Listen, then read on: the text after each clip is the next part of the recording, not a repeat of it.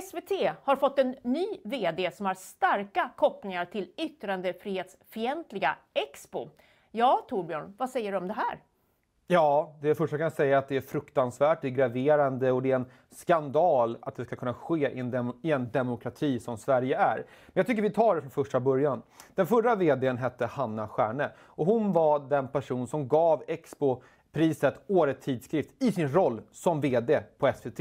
Och det är faktiskt helt det är galet. Det är sjukt rakt igenom. Sen blev jag av med henne och jag tänkte så här, äntligen blev vi av med den där gamla haggan. Uff, vad skönt. Jag hoppas den nya VDn är bättre. Men nu kommer det visa sig att det är hon inte. Hon är inte ett dugg bättre. För den nya VDn som heter Ann Lagerkrans är nämligen eh, gift med David Lagerkrans, författaren. Och den här David Lagerkrans är en av Expos finansiärer. Han har vägrat ta avstånd från Expos terrorliknande metoder som de, som, som de gör i sitt arbete. Så vi, fick, vi, vi, vi hade alltså en Expo-kopplad eh, hagga som vi blev av med och vi fick en ny. Så enkelt är det. Och det är, jag tycker att det är, det är skandalöst. Det här ska inte kunna ske i en demokrati överhuvudtaget. Hon är en utpräglad eh, nykommunist. Och jag har två bra exempel. Hon jobbade tidigare på SVT och det handlade om en partiledardebatt där bland annat då Jimmy Åkesson för SD deltog. I den här debatten så valde hon i sin roll då för, för SVT att ta avstånd från SDs uttalande. Hur kan man ta avstånd från någonting om man ska företräda en politisk oberoende public service? Det kan man inte. Här kom hennes riktiga åsikter igenom och det var en skandal i sig.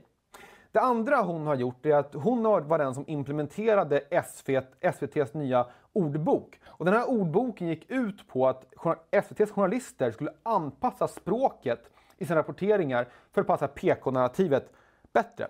Ett bra exempel är istället för att säga invandrare skulle man säga utrikesfödd. Istället för att säga invandrartätt område så skulle man säga socioekonomiskt utsatta områden. Det här är typisk kulturmarxism, typiskt 1984. Man försöker anpassa språket i syfte att vilseleda det svenska folket att få andra åsikter. Och det var hon som implementerade det i SVT. Det här visar att hon är ingen objektiv person. Hon är ingen politisk oberoende person. Hon är en typisk kommunist med kopplingar till Expo. Ja, eh, och apropå då hennes kopplingar till Expo, hur graverande är det? Alltså, det kan inte finnas någonting värre i Sverige idag än att vara kopplad till Expo. Expo är en av de absolut värsta organisationerna Sverige har överhuvudtaget. Det Expo gör, det är att de förföljer, hänger ut och förstör livet för människor som råkar ha åsikter som inte ingår i PK-narrativet.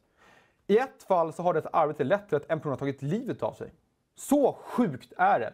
Dessutom så har Expo kopplingar till terrorgruppen AFA.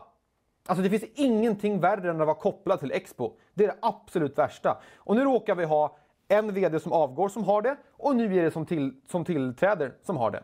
På Sveriges största public service, SVT. Det är sinnessjukt. Det här ska inte få ske i en demokrati som Sverige nu ska vara.